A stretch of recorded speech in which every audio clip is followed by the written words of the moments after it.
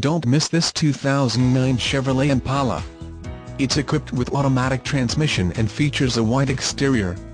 With 69,772 miles, you'll want to take this car home.